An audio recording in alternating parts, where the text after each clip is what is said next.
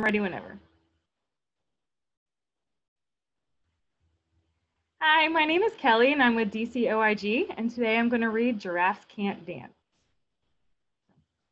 Gerald was a tall giraffe whose neck was long and slim, but his knees were awfully crooked and his legs were rather thin. He was very good at standing still and munching shoots off trees, but when he tried to run around, he buckled at the knees. Now, every year in Africa, they hold the jungle dance, where every single animal turns up to skip and prance. And this year, when the day arrived, poor Gerald felt so sad, because when it came to dancing, he was really very bad. The warthogs started waltzing and the rhinos rock and rolled. The lions danced a tango that was elegant and bold. The chimps all did a cha-cha with a very Latin feel, and eight baboons then teamed up for a splendid Scottish reel. Gerald swallowed bravely as he walked towards the floor, but the lions saw him coming and they soon began to roar. Hey, look at clumsy Gerald, the animals all sneered. Giraffes can't dance, you silly fool. Oh, Gerald, you're so weird.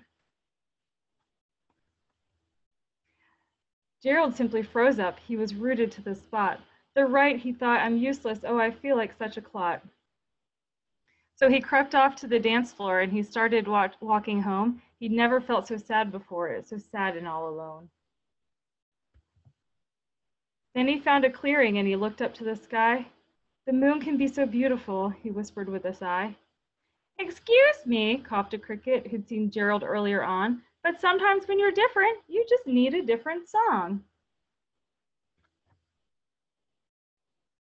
Listen to the swaying grass and listen to the trees.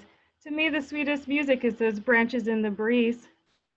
So imagine that the mo lovely moon is playing just for you. Everything makes music if you really want it to.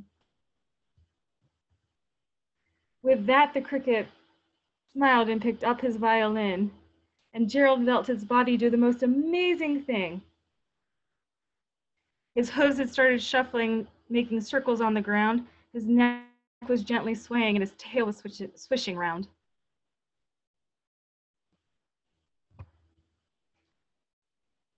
Then he threw his legs out sideways, and he swung them everywhere. Then he did a backward somersault, and he leapt up in the air. Gerald felt so wonderful, his mouth was open wide. I am dancing, yes, I'm dancing, I am dancing, Gerald cried. Then one by one, each animal that'd been there at the dance arrived while Gerald boogied on and watched him quite entranced. They shouted, it's a miracle, we must be in a dream. Gerald's the best dancer that, we, that we've ever, ever seen. How did you learn to dance like that? Please, Gerald, tell us how. But Gerald simply twirled around and finished with a bow.